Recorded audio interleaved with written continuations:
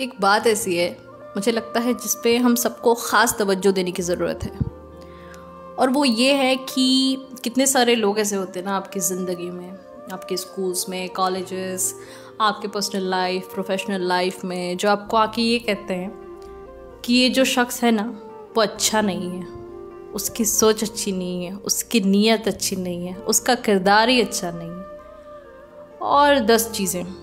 और हम लोग क्या करते हैं कि बग़ैर किसी सबूत की, किसी सोच, किसी जाँच के हम यकीन कर लेते हैं। और यही बात हम किसी तीसरे को बताते हैं। हमने तो इनके बारे में इस तरह से सुना था तो थोड़ा ख्याल रख एहतियात करना। ये जो हम बातें करते हैं ना, ये बहुत गलत होती है। यकीन माने, जब कोई हम पे तोहमत लगाता है, जब कोई हमारे बारे में कुछ बुरा कहता है, एक पल के लिए सही, आपको बुरा तो ज़रूर लगता है, चाहे आप जितने सब्र वाले हो, बुरा तो आपको लगता है। तो आप खुद सोचें, जब कोई और या हम किसी और के बारे में इस तरह की बातें करें बगैर किसी ग्राउंड्स के, ये कितनी बुरी बात है।